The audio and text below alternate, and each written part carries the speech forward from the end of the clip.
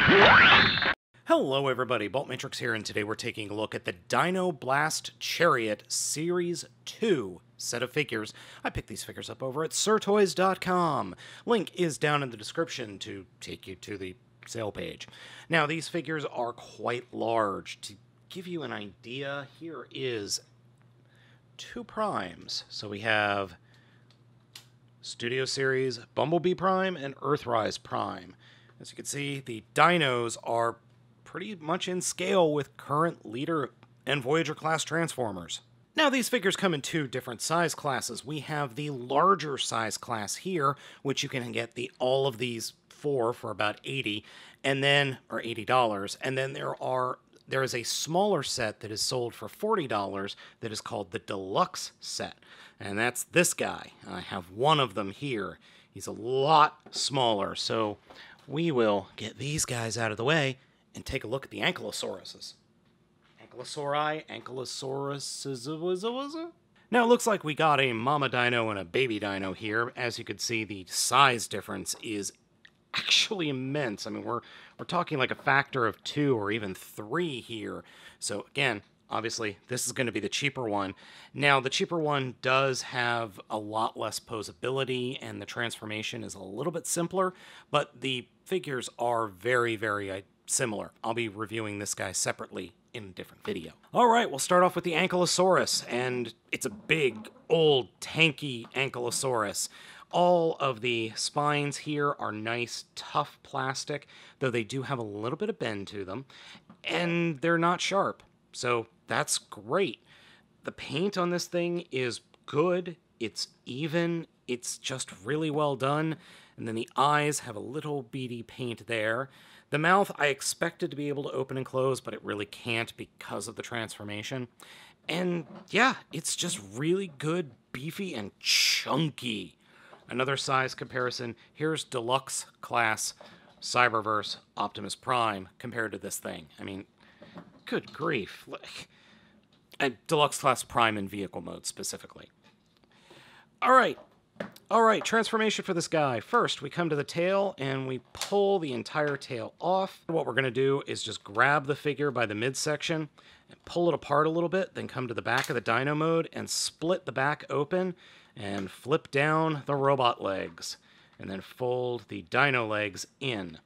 And these will flip down and then snap into place, though the uh, snap is not that tight. Then come on to the inside of each leg and flip out the toes and do that on both sides. And it's not the easiest thing to do in the world. You kind of need some nails, but it's not that bad. So turn it so that the toes point forward and that they line up with the hands. All right, next for the head. First, grab the body and just pull the shoulders, what will be the shoulders, apart like this.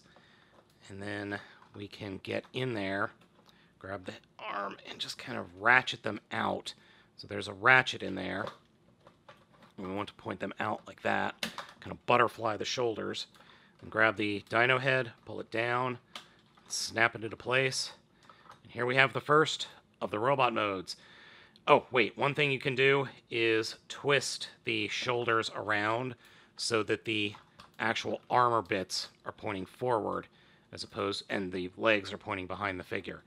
And then we can give him his club weapon, which it feels like it should be a spring-loaded weapon, but there's nothing spring-loaded about it, so I kind of treat it like this is actually a club that he should be able to hold, but it doesn't really work, and that this is actually a gun. Now, our red Ankylosaurus friend, otherwise known as Dino Red, is pretty tall. It's a pretty tall bot mode. And we'll get into the posability in just a minute. It looks good though. I like it. Head sculpt is pretty good. It is a little bit plain though, though I do appreciate the contrasting colors that they've managed to get. I would have preferred a different color with the eyes, but the white does work for the overall aesthetic of the figure. Posability wise, head is on a swivel, can't look up or down. Shoulders are on a pair of hinges and ratchets. Bend at the elbow is not even 90 degrees, no fist articulation, no torso articulation. Legs are on ratchets for forward and back, and hinges for in and out, and the knees do bend, but they bend in the wrong direction. So, yeah. It's a pretty good figure, though I do have to admit he is top heavy, and these knees are are too loose, and the swivels are too loose.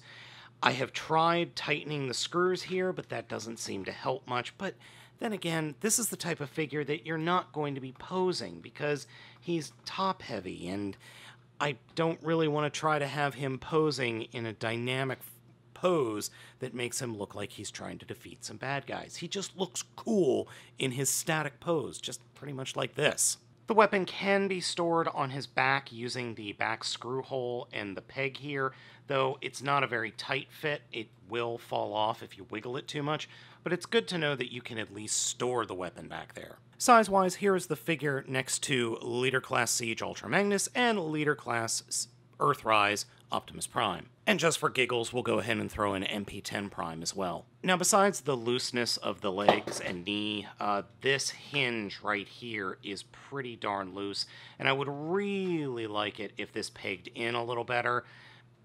Eh, not that big a deal. It really isn't. Overall, this is one of my...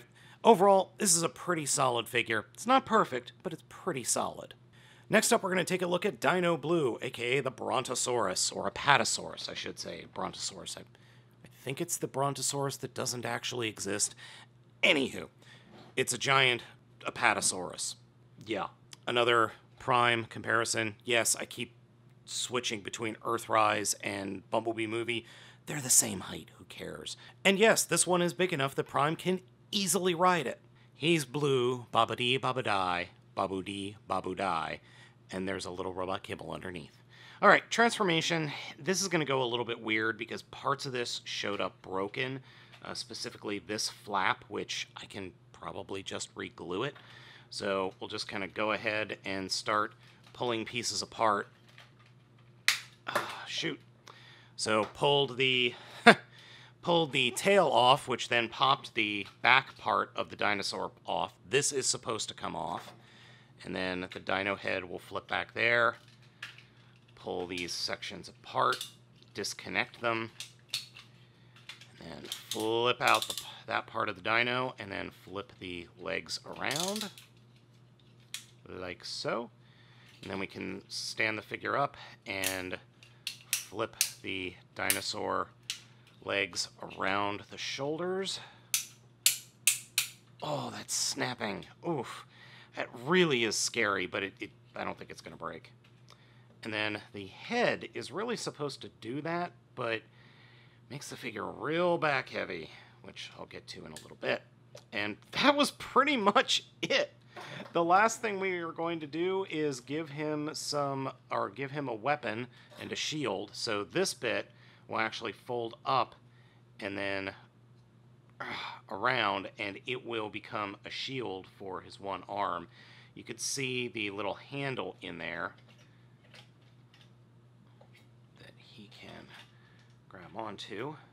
And then finally, we've got some Dinobot, Beast Wars Dinobot action happening here, where this whole thing opens up and becomes a, a kind of pinwheel-esque spinning weapon though it doesn't work all that well. So, yeah.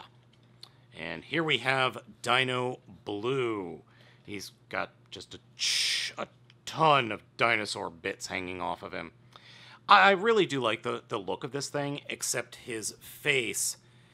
Well, we'll get to that in a sec. Yeah, it's it's a nicely painted, nice looking figure. Though the face is very derp. Derp. He's got a very derpy face. Overall, pretty good. I like it. Except for uh, some of the joints, which we'll talk about in a second.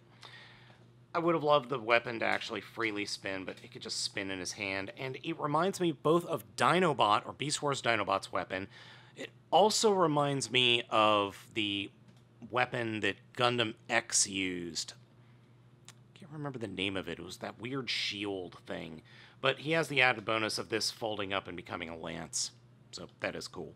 All right, posability for this guy. Head is on a ball joint, so it's got a lot more movement than Red did. Can look down that much, can look up that much. Shoulders are ratcheted for in and out, or for forward and back, and then a hinge for in and out. Bend at the elbow, fists do rotate. No torso articulation, but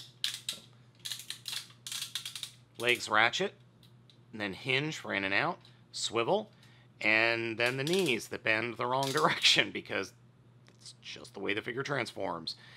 So the knees are the problem, even though they are ratchets, they are not the tightest of ratchets, and I'm really worried that they're going to break at some point.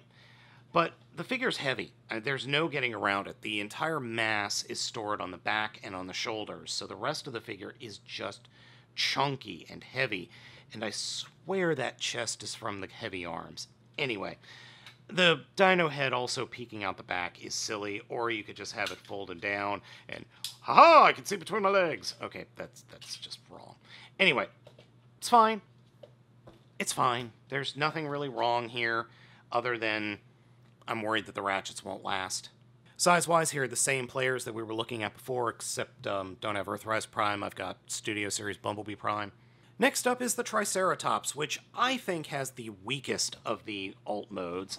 I don't like the fact that the seam is gigantic right down the middle of the face. I think that the chunk that's showing up in the back of the ve- the vehicle mode of the dino mode is a little bit much, and eh, it, I don't know why. It just doesn't do anything for me the way the others do. Though I do respect the color choice. The orange and yellow and with the brown, I, I actually kind of dig that. It's fully rideable by Prime also. See, what did I tell you? Though Prime does look like he's just about to fall off any second. Our boy's transformation is a little bit different. Uh, we'll start off by just ripping off his tail and then turning the, the tail into the weapon mode. This is supposed to be a hammer, believe it or not. Then we can unpeg or pull off the back flanks. And these sections do some interesting twisting and turning so that the legs get formed. So I'll do that again. Flip out the leg, turn it 180 degrees, extend it, and then flip the foot out, and then fold the whole section over the dino leg, and that will peg into place. So the whole thing can stand up. And then we just pretty much fillet the dino, the rest of the dino mode. So start off by coming to the back here and pulling these panels apart. And that's kind of all that these will do. I wanted to say that they will open up or slide away from the figure. They don't. And then grab the dino head and just pull it apart and start moving bits around so that we can then come inside and pull, push up the head, which is pushed up by this little bit right here. And then the inner dino bits will wrap around the arms. And fold the heads down and flip up the front legs behind the heads. And that's it. That's the transformation. We're done. In terms of the overall color scheme, I'd say this is the most vibrant. The blue, white, and yellow and orange are crazy bright. I kind of dig it. The head is much too small for the rest of the body, and also, for some reason, the face is not painted. I don't know why this one didn't get a paint job on the face. It would have worked if it was, mm, I don't know, brown for the face, or, you know, some paint. That would have been nice. The overall aesthetic works, though. It's gaudy as heck, don't get me wrong. It is completely gaudy as heck, and he actually stands better than all of them, even though he's got slightly floppy knees. But it, it kind of works. It's so stupid, it actually works. And then here's his hammer. Posability on this guy is the worst out of all of them, I think. Head is on a ball joint, though it only has very limited up and down movement, but it can swivel. There's ratcheting in the shoulders, and then a hinge, and then there's very little in to out movement of the actual arm. The elbow can bend, but it can't bend all the way unless you oh, do kind of like an untransformation of the arm. Then it can bend all the way, but otherwise the dino chunks get in the way. Leg is the kind of ratchet that I'm terrified to actually move because it sounds like it's going to break. and then a hinge for in and out, a swivel, and ratcheting knees that are very, very tight. So, yeah, definitely the most gaudy and weirdest proportioned of the bunch, but it's not that bad, actually. Yet another size comparison. You can see how well he scales to the Transformers of the day. He is definitely the widest of all of the bots in this dino set, though. And last but by no means least is the T Rex, the green, dino red, and oh, I'm sorry, the Triceratops was dino yellow. Yeah, it uh, it's a T Rex, and it actually feels kind of small compared to the other guys. Can Prime ride him? Yes, but it's tenuous and it looks completely non correct to scale. Oh well. In this form, Dino Green does have some articulation. The dino arms can move and bend, and the dino mouth opens with no problem, revealing some nice painted chompers. And then his uh, feet can articulate, and his ankles can and his legs can collapse like this. So he could actually sit cross-legged if he wanted to. Okay, not really. Transformation for this guy is interesting. Very interesting. So we'll start by just kind of grabbing the rear legs and opening up the panels, and then kind of separating the panels and come to the tail, pull the tail off, move that off to the side, and then grab these back panels and split them open, and they will fold down to form the feet. I think it's obvious by now. Now, you want to reach in and flip out the toes, and that. Ah, come back here. Like that. And then close it up, but then collapse this section in to form the heels. And then the dino feet will do the same. So we'll do that on the other side. Close it back up. Collapse that section to form heels, and then fold the dino foot in. And you can collapse the dino toes. I choose not to. And then just situate the legs so that the figure can stand up. Next, come to the top of the dino and grab the snout and split the dino head open. Get the arms kind of out of the way. Fold these panels up like that. And then open them out. Oh, forgot about these panels. Fold those out. Fold the arms down. And then come to the back and grab this little section here, and you're supposed to push up to push up the robot head. What we are actually supposed to do is grab that and pull it all the way out, and then push it up, and it'll lock into place, but doesn't really want to, so I just push it up and then grab the dino head and pull it out, and that's pretty much it, except for the weapons. So we'll talk about that in a second. Now, Dino Green is definitely the thinnest of all of them, and I think the coloring works really well. And then you get the giant yellow up at the shoulders, which is just weird. I would have preferred it to keep the green and maybe some red, not orange. The head sculpt is good, but I would have loved to have seen the face plate painted again, or painted at all at this in this case. I actually really like the face and the head sculpt going on here. It Reminds me more of something from Mega Man X than actually a, a dinosaur robot. So the tail splits apart into these two weapons, and I have been trying to figure out how to get our Dino Boy to actually wield them. The directions I have aren't clear. It just says literally connect it. There's nowhere to connect it to. There's nothing to actually peg into here. So I'm not entirely sure what I'm supposed to do with this. It's almost as if the hands are supposed to go in there, but the section is much too small. I, I don't know. I have no idea. Anyway, posability. Head is on a ball joint, though. Anywho, posability. Head is on a swivel. Ratchets in the shoulder. Hinge. Another hinge and then an elbow, no fist articulation, legs, ratchet, swivel, bend at the knee.